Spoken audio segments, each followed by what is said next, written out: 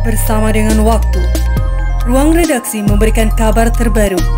Sultraline hari ini. Pangdam 14 Hasanuddin Majen TNI Andi Sumanggeruka bersama Sultra Koi Club gelar festival kontes ikan koi yang memperebutkan piala tetap dari Pangdam 14 Hasanuddin dengan total hadiah sebesar 30 juta rupiah.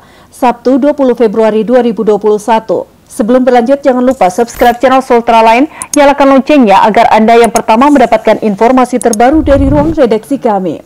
Kontes ini dibuka langsung oleh Pangdam 14 Sasarudin melalui dan Yorif 725 Woragi Mayor Infanteri Muhammad Amin dan diikuti sekitar 42 peserta se-Sulawesi dengan jumlah ikan koi sebanyak 412 ekor yang dilaksanakan di Aula Gor Pemuda Kota Kendari, Provinsi Sulawesi Tenggara. Adapun kategori perlombaan ikan koi ada 13 kategori dengan indikator penilaian mulai dari skin quality, postur badannya, dan pola yang dibentuk badan ikan. Dan tujuan dari festival kontes ikan koi sebagai ajang silaturahmi sesama komunitas pecinta ikan koi, sekaligus dalam rangka membantu para pembudidaya ikan koi meningkatkan karakteristik dan sebagai ajang mengenal ikan koi di masyarakat sehingga pendapatan para pembudidaya ikan koi dapat makin meningkat. Hal ini disampaikan oleh Andi Iksan Ilyas, Ketua Soltra Koi Club, yang juga Ketua Panitia Lomba dalam sebuah wawancara dengan awak media di Aula Gor Pemuda Kota Kendari.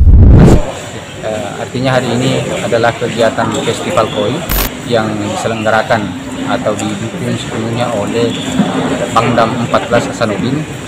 Kami sebagai pelaksana dan mitra Kendari uh, Sultra Koi Club ini bekerjasama untuk kemudian menggelar acara festival koi sesutra ini. Ya. Untuk jenis ikan koi yang diperlombakan sendiri Pak, ini oh, ya. jenis ikan koi yang kita perlombakan ada 12 kategori. Saya sebut tiga di antaranya itu masuk di kelas bosan KA. Itu kohaku, soa, sanke. Nah, itu, itu tiga dari 12 yang kita perlombakan hari ini. Untuk indikator penilaian sendiri Pak, ini dilihat dari seperti apa? Nah, indikator penilaian biasanya kita lihat dari skin kualitinya, postur badannya kemudian pola yang membentuk di badan ikan itu itu menjadi poin-poin penilaian kalau untuk pesertanya sendiri Pak, berapa orang yang ikut? Pesertanya yang terdaftar itu sekitar 40 orang dengan ikan yang masuk yang terdaftar di kami 412 ekor. Tujuan dari lomba ini?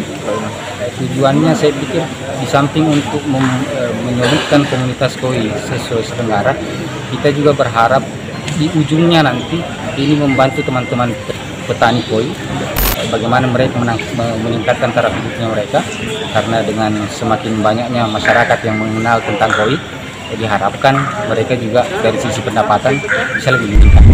Andi Iksan Ilyas yang ketua panitia festival kontes ikan koi ini juga menambahkan bahwa besarnya animo akan festival kontes ikan koi ini membuat peserta kegiatan ini bukan hanya berasal dari Provinsi Sulawesi Tenggara, tapi juga berasal dari luar Sulawesi Tenggara yakni berasal dari Makassar, Poliwali Mandar, Sidrap dan kegiatan penilaian serta pengumuman hasil lomba ini akan dilaksanakan pada Sabtu 20 Februari dan penyerahan piala akan dilaksanakan pada tanggal 21 Februari di Makorem 143 Oleo. Yang terdata di kami tidak hanya dari Sulawesi Tenggara, meskipun tag lainnya kami sesultra, tapi ternyata animo itu banyak datang juga dari luar Sultra, di antaranya dari Makassar, Polewali Mandar, kemudian sidrap itu di antaranya di samping eh, komunitas-komunitas koi yang ada di Sulawesi Tenggara Malaka, Bau-Bau, Raha ya. kalau pengumuman finalnya ini kapan bang? pengumuman finalnya kita upayakan hari ini selesai Pak dari tahapan penjuriannya. Hari ini selesai kemudian bisa diumumkan siapa-siapa pemenangnya.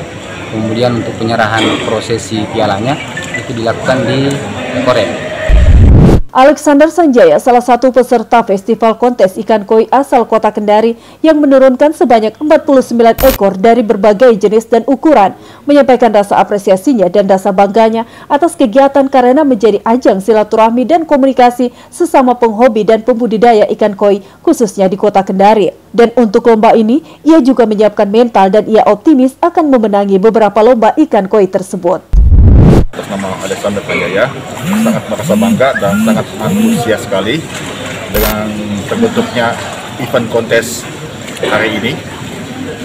Eh, selama ini kami semua penghobi ikan khususnya di kota Sulawesi apa khusus, khususnya di Sulawesi Tenggara terkotak-kotak dengan adanya kontes ini uh, saya sangat bangga dan sangat antusias terbentuklah suatu komunitas ikan koi. Sehingga menjalin komunikasi menjalin silaturahim antar sesama penghobi ikan koi. Dan saya selaku penghobi ikan koi sangat bangga dan sangat antusias sekali. Untuk jenis ikan koi yang eh, diperlombakan sendiri untuk Bapak sebenarnya ikan untuk saat ini kebetulan saya yang paling banyak yang bawa ikan. Ada 49 ekor dari berbagai jenis dan berbagai ukuran ikan koi. apa saja yang Bapak sedia persiapkan untuk mengikuti lomba ini Pak? Dari jenis ikannya. Yang saya persiapkan ya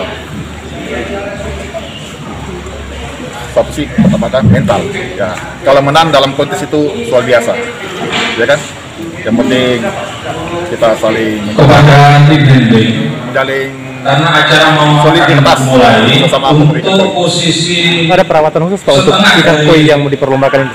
otomatis yang kalau perawatan ikan koi ditunda dulu.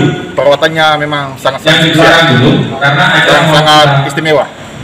Pakan vitamin obat-obatan yang diberikan kepada ikan koi itu memang butuh budget yang lumayan untuk Optimis untuk memenangkan perlombaan ini Pak. Optimis untuk memenangkan. untuk dipending dulu penataannya Eh, sehingga tidak mengganggu jalannya yang saya bawa prosesi 49 ekor pembukaan dan merupakan lomba kualitas-kualitas pilihan dari ratusan ekor ikan saya yang saya pelihara di kolam dan saya yakin walaupun tidak semuanya tapi saya yakin adalah satu dua tiga piala saya saya bisa bawa pulang. Untuk diketahui, selain mengadakan festival kontes ikan koi, Pangdam 14 Hasanuddin Majen TNI Andi Sumangeruka juga mengadakan pertandingan tenis beregu di lapangan tenis Korem 143 Halo Oleo yang juga memperebutkan piala tetap Pangdam 14 Hasanuddin dengan total hadiah sebesar 39 juta rupiah. Dari Kompleks Blok MBD Kendari, jurnalis Ultraland Isman Indarsyah mengabarkan untuk Anda.